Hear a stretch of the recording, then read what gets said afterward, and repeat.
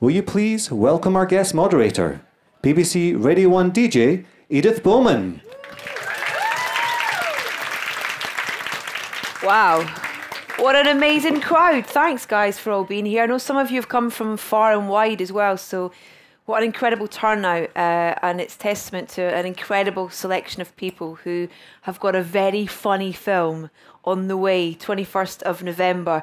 Um, let's crack on, let's get on with it. Before I welcome them out, let's take a look at what Gambit is all about.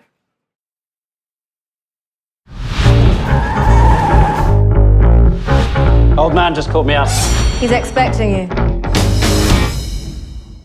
What? This is a story of Harry Deane.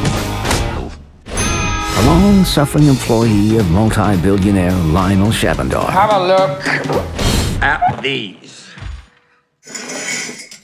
Now he would have his revenge. His plan relied on a fake painting and a real cowgirl. How would you like to make half a million pounds? Yep. Hey, Grandma! Good God. These nice people want to take a picture in the house. Straight? Beautiful work. You'll never suspect it was a fake. Monet's haystacks. For years now, Shahbandar has been seeking it with a passion. Haystacks dusk.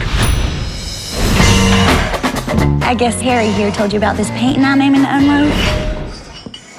Perhaps you might be my dinner companion. Why, thank you.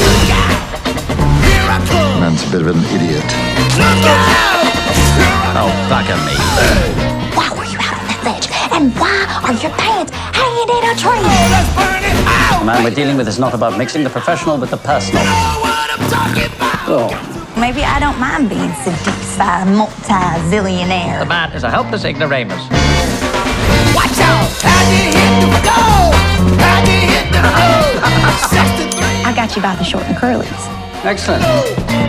Let us get down. This is bloody marvelous. No problems then, sir. Security was a little tough. Oh. Not forgetting anything else, are we, sir? Hmm? No, no, I shouldn't think so.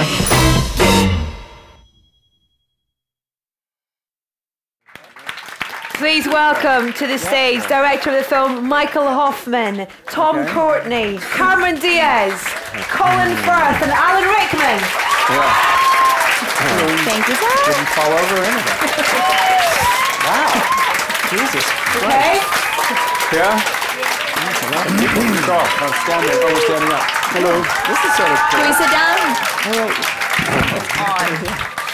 Make yourself comfortable, ladies and gentlemen. What a crowd! This has got to be a record. great. It's great. Welcome to uh, Q and A about your film. Um, um, Michael, I would love, love to start with you first, if that's Okay. okay. Yeah. Um, why were you, you, you so keen to direct direct this uh, this Coen Brothers script?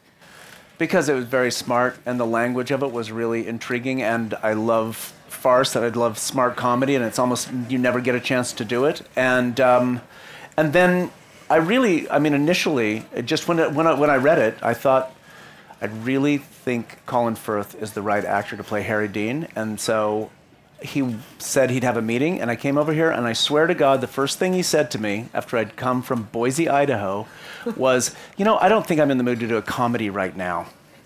And that's true. So That's I really don't know conversation what I don't know what what what where that ever changed. Maybe it never changed. you were right. true now. You were right. You were right. You were right. You were actually so. Uh, so and then and then it was one of those things where the the heavens just parted, and I I've never in my life ended up working with a cast that every, in every case it was the first choice for every role. It was just a miracle. And so, how do you say no to that? Colin, was it because it was a smart classic comedy? I think is I just wanted to do a comedy, any comedy. Just with another I just had to pick the right director.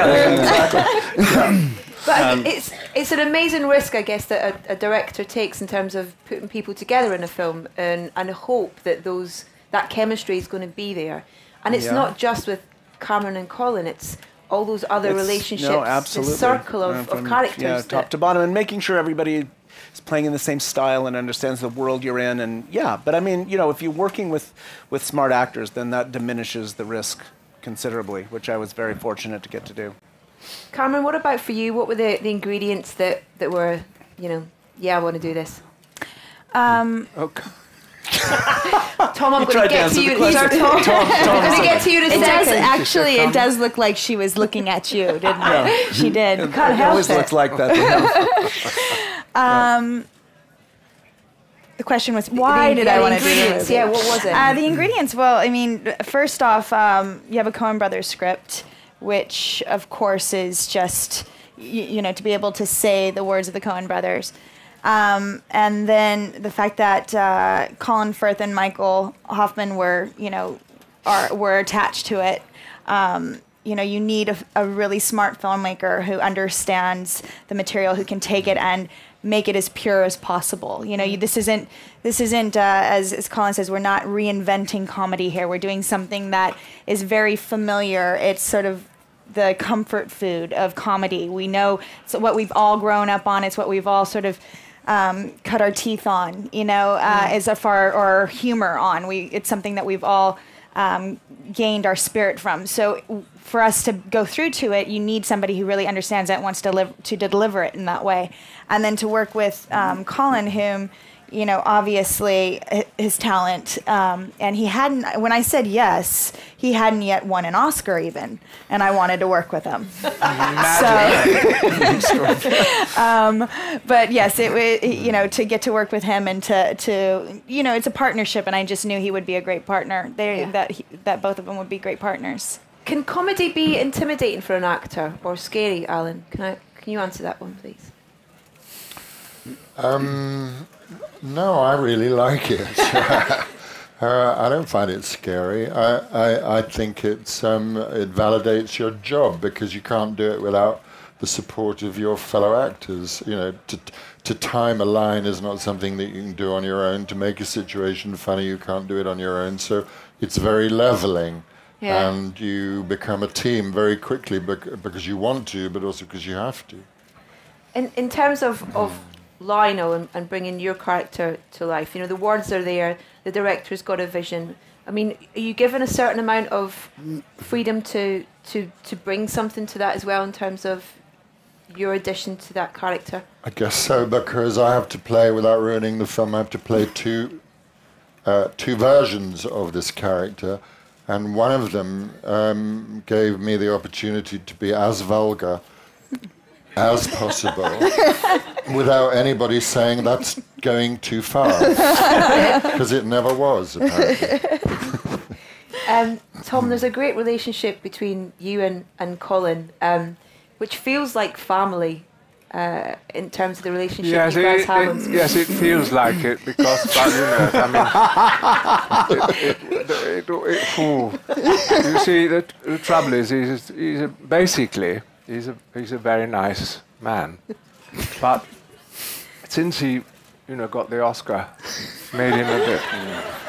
And uh, fortunately, I had the experience, you know, to be able to bring him down a peg now and again. And so that's why,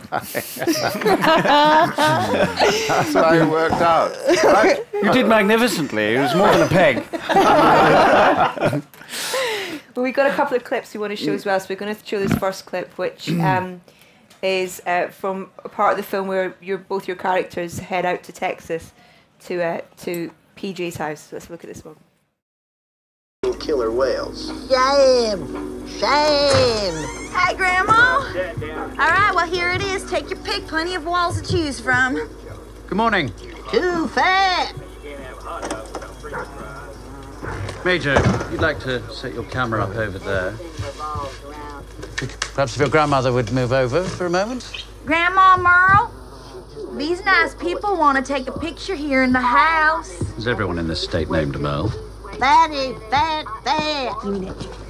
Good God. Is she unwell? Oh, Oh, no, she's fine. Grandma Merle just chews. So she won't move until this repulsive program is over, is that right? Not then neither. Nope. Her anorexic show's on next. She's really into eating disorders. Here's a freshie. Take that. Well, perhaps if we could ask her to slide over a bit, you could both be in the picture. Major? Grandma Merle, could you scooch over? I'm gonna sit next to you. Major, like to think.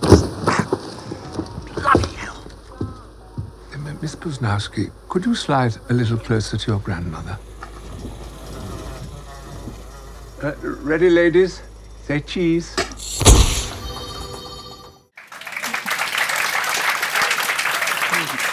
Cameron, in terms of PJ, um, what a great role to to so much fun bring to life. Yeah. Yeah, so much fun. That's the great thing about a comedy like this. It's you know you have an opportunity to make characters broad and and um, it's essential to the story that the more um, you know uh, the, that the two charac- main characters can't relate to one another.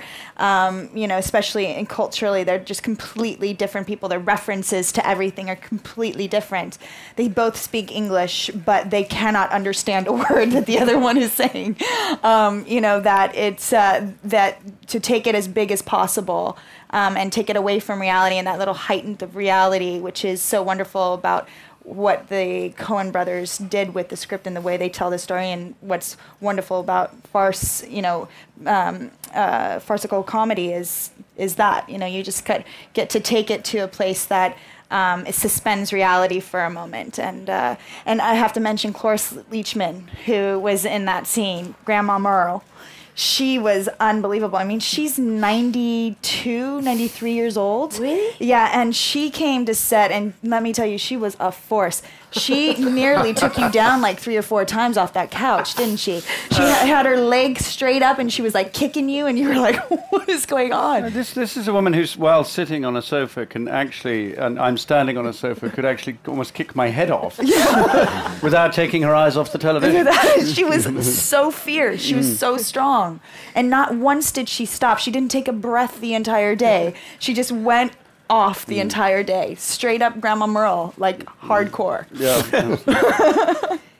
It's the it's the physical comedy as well that, that's part of it that just that gives it that kind of classicness to it in terms of you know there aren't a lot of films made like this that that have that great script that's that's edgy but it's also got this physical side to it. Do you do you enjoy that side of it, Colin? Is that I loved it, and I loved the the physical comedy. The opportunity to do a bit of that doesn't, you know, uh, uh, people. You know, I think people have underestimated my immense com- comedic um, potential over the years. Um, uh, Clearly. uh, I, it's it's definitely there. I mean, I, I realised. I, I actually was walking down the street the other day, and an entire family burst out laughing at the sight of me. and um, I was actually with my children. They said, "What's so funny?" I said, "I, I, I don't know. Maybe it's just I, I should be exploiting this." But they continued. I mean, they followed me for about five minutes, howling with, with laughter.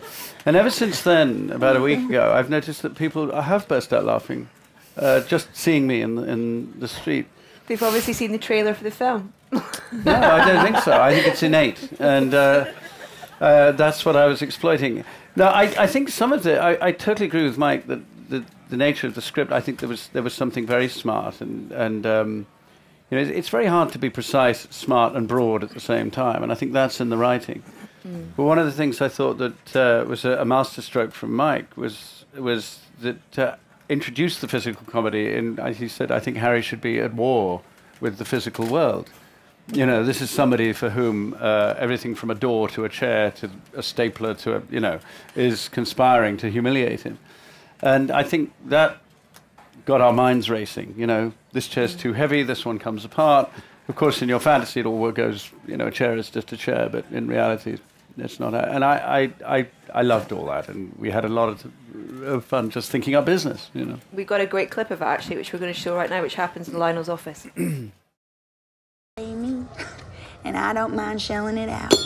I guess uh, Harry here told you about this here painting I'm aiming to unload.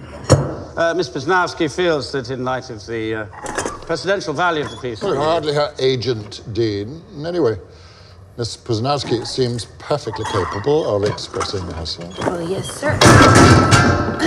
yes, sir. English is my mother tongue. But you know, you don't have to Miss Puznowski me. Now, you can call me PJ or Jammies. That's my rodeo handle. Or Philomena, which is my real name. Well, thank you, PJ. And you may call me Lionel. Let's hope that doing business on a first name basis will be conducive to plain speaking and clear understanding. Amen to that, Lionel. well then, let's get to it. I want 12 million pounds for this here picture. That's 6,000 tons if I've done my math right. And maybe you'd like to throw in a nice 4x4 to haul it off in.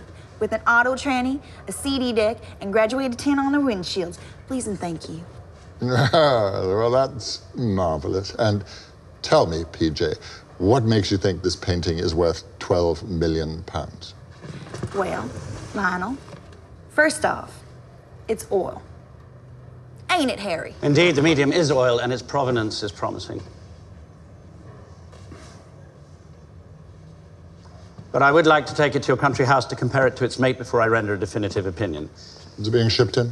Arrives Tuesday. Well, that works out. You can run it up to the house and we'll take a look at it at the gala on Wednesday. You've never been to the house, have you, Dean? Uh, no, sir, no. I, I, I have an annual party up at the estate. Oh, that sounds nice. And that's another thing I got going in my favor.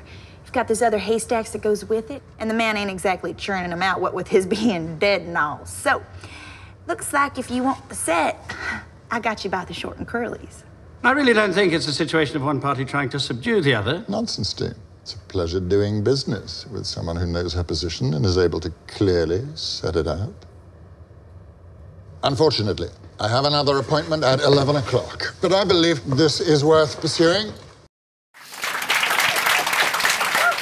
much do you rehearse a scene like that? Do you?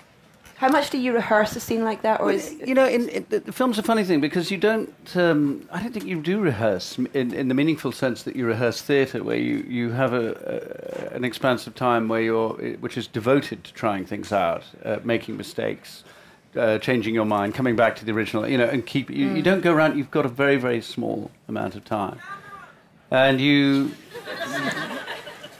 Yeah, it's hard. It's hard. Yeah. Total All right, I'll stranger. No, we, you just try it as in the time you've got, and then you, you hope you, you judged it right, and you you know you you've still got the editor to try to finesse it later. I remember that day in particular. There was no oxygen in that room. I'm just gonna Yeah. say. Remember True. that? There was no oxygen. We had to flee. No, no, no. We were practically on respirators. We were. I um, yeah, you had that sort of moment of Yeah, of where brain deprivation. Everyone, And all it's, of us. it's been caught on camera. Yeah, exactly. but I mean, but we did actually go back and rehearse that stuff at the chairs. Remember, we did. I think we actually did. take it Yeah, we had to try things that. out. And the other thing that I think is really critical that you do in the little bit of rehearsal you have before you stop is stop, start is be, is um, that you try to agree to be in the same world stylistically. I think that was really critical to try to find a level that we were playing at. Because with farce, especially, I mean, it's very easy to get abandoned, be the one person who's being really big, and everybody's like, "Hmm, that's Hmm. interesting." Yeah, and be and and that and get and things can get a little lost. Yes, That and you're, not, you're, you're, you're acting in a bit of a void in a way because you, you know you might you, you might try something out that's funny at seven o'clock that morning. Uh, the- got to repeat it. Yeah. Then you've got to wait for hours. Then you've got to do it Yeah. again and repeat and repeat and repeat. And it's Mm. very unlikely to be funny by lunchtime. Definitely. You know, By so five o'clock. Yeah. Forget about five o'clock in the Yeah, afternoon. exactly. So you're, you're, it's guesswork. We've got one more clip, then we're going to get some questions from you guys. Um, and this is this is a this is a big scene in the film that involves um, involves a, a floor of the Savoy Hotel and a lot of toing and froing. We're going to see a, a short clip from this scene.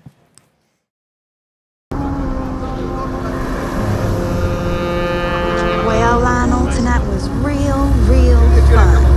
It sounds like the past tense. Bloody tot.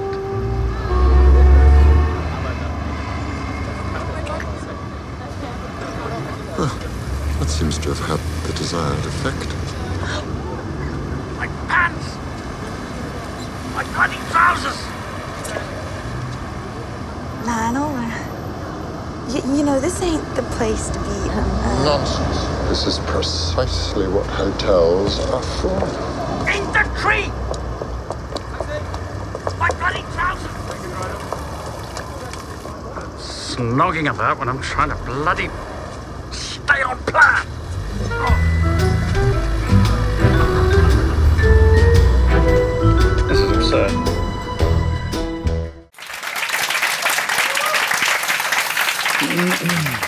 Believe, Colin, that was one of your that whole thing was one of your favourite bits.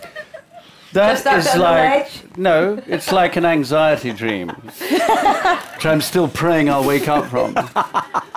You know, where you think you know you suddenly got your legs out in the Apple Store on Regent Street, and you can, this can't possibly be true. It's just you know. Alan was Except for that confined it to an is. office with everything off.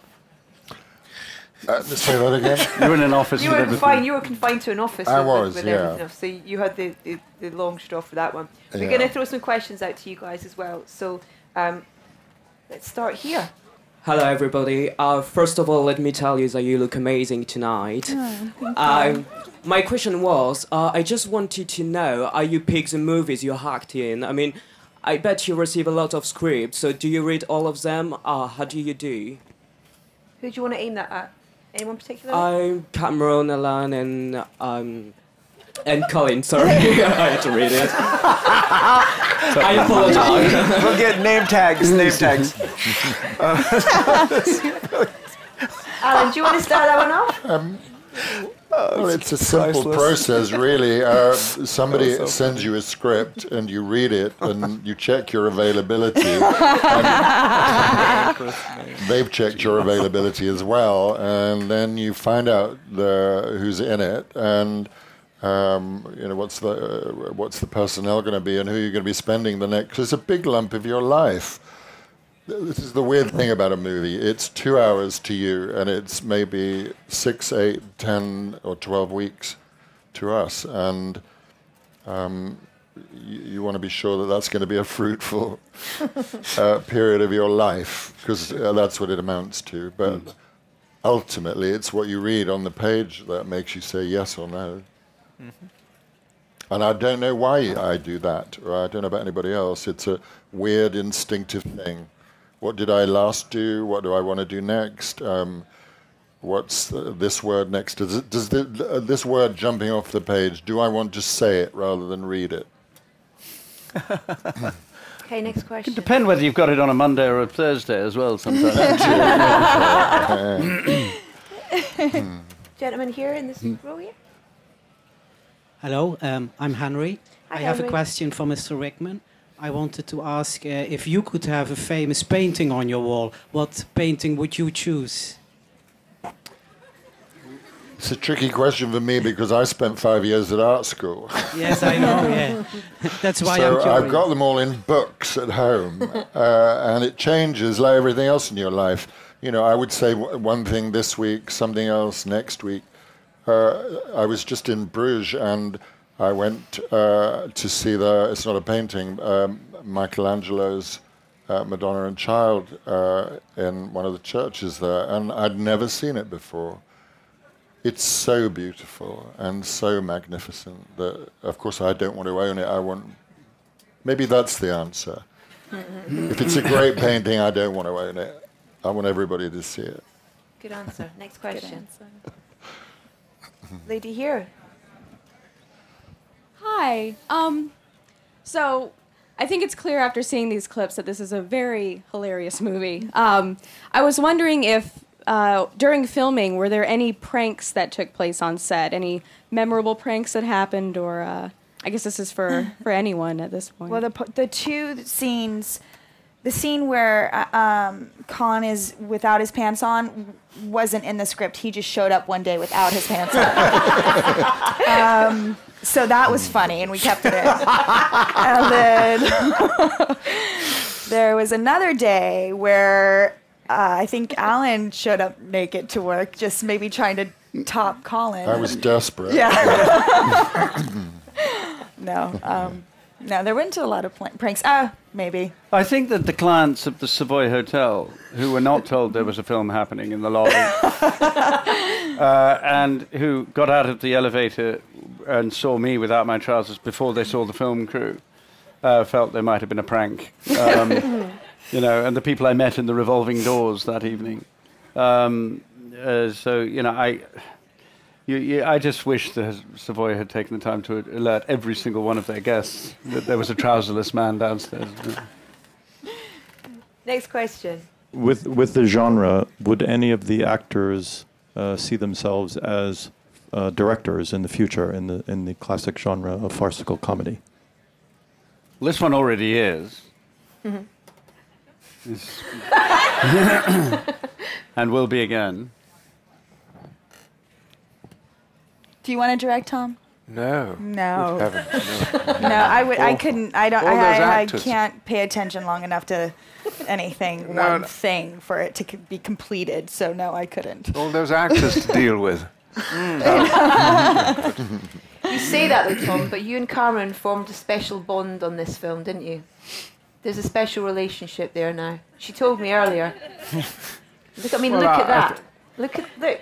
I think He just ignores I- me. I- I, I- do this to him all day long, and he just doesn't even pay attention. I, did. I, I think I prefer to keep it between Cameron and myself. Okay, any more questions? Hello, I was just wondering, what is the most proudest or most enjoyable film you've ever been in? This one. know. Yeah, this one. this one with these actors. Really? yeah. I don't know. I've, yeah, it was. uh, I don't know. I, I, mean, think I, it's I- like it's like saying asking somebody who's your favorite child. It is a little bit. You In- in can't. front- you in front of your in- children. In front of your Yeah, children. yeah, Which one's your favorite? Well, I don't know. I mean, you know, I could probably more easily tell you which one wasn't my favorite, but I don't think I should probably do that either. Your Um, children. Yeah. no, I don't. I mean, I love doing this. I love making this movie I made before this, The Last Station, partly because it took me five years and it was something about. Ciao. It was. so I don't know. I mean, there. When you're in the middle of them, I guess what's the truth? The truth for me is when I'm in the middle of them, they're just completely engaging, and after they're done, I almost never ever look at them again. I don't know. I just never do. I put it's just a, something that's over, and and I'm happy about it, and I'm really excited that I took part in it. But I don't. I, I keep. I sort of have a tendency to look forward as opposed to back. Alan hasn't seen this film yet, have you? I haven't. It's, my, So it's, it's- so it's his He's come here favourite so far. you guys he loves hasn't it seen so yet. far. Is it kind of how does it feel seeing you know the clips from the film and I can't stand it. You know, I- not the movie. torture. Just- I truly can't. Uh, I, I suppose to answer that question, it goes back a bit to what I was saying before. I don't actually remember the film. I remember where I was, uh, who I was with, evenings you spent, uh, laughter, uh, meals, hotels uh, that you checked out of. Um, I don't really remember the movie. Tom. well, I like this one because I, I got to go to. Um, where did we go? New Mexico. We went to New Mexico. New Mexico. Yeah. That was very nice. I mean, I'm in a difficult position here because I did two films last year, both of them directed by someone called Hoffman, uh, Michael Hoffman and Dustin Hoffman. And so, uh, you know, it's, a part of me likes to say, you know, I liked uh, working with Dustin Hoffman best, but I can't really. In fact, I used to tease uh, Dustin Hoffman because I said, Michael Hoffman, who I just worked with, he's a Rhodes Scholar. But it was a waste of a tease because I don't think uh, Dustin knew what a Rhodes Scholar was. This time too. There's a lady here who had her hand up. There we go. Right in the middle, please, if that's okay. There we go. Hello. Um, I'd just like to say, Tom, that I've seen Quartet and it's lovely. Well, you oh, thank just you, mentioned Karen. it. Thank um, you. Oh, you shouldn't have said that. Colin gets so cross that things like that. We're here to talk about him and his film, aren't we, Colin? No, it's true. Sorry. He's absolutely right, actually. I'm sick to death of this bloody thing. It's, he talked about it before he did it. I got texts and emails from him during his doing it. I got photographs of him on the set with everybody do, while doing it. And I've heard nothing about it else since. So, um, uh, you know, that was uh, a very unfortunate question. Yes, it was. Well, sorry. it wasn't I mean, question, I, I appreciate actually. it, but I have a proper a very question. unfortunate statement. It's, uh, Um, I just like I to hear ask. it's delightful too. It, it, yeah, it is. Sorry. Um, Yeah. I just like to ask, how much input did the Coen brothers have? Um, obviously, they wrote the screenplay, but did they just give it to you and let you do what you wanted, or did they interfere? No, well, having written the screenplay is quite a bit of input for a starter, for Yeah, for starters, sure. which is virtually everything that we we did. But no, it, they they wrote this script a long time ago. I mean, I think they wrote the script 2004, maybe a long time ago. And so, and I think by the time they were, there were a couple of things that we needed to change, wanted to change that we talked to them about. But generally speaking, they were very much go with God, make your movie. I'm afraid that's all we've got time for, guys. Um, I really appreciate you all being here Wow. and listening. Was Yeah. that many questions, but listening was good. Um, 21st of November, the film is out and it's absolutely hilarious. Huge round of applause, please, for our guests. Thank you Alan Thank you. Cameron, Tom, and Michael. Thank you.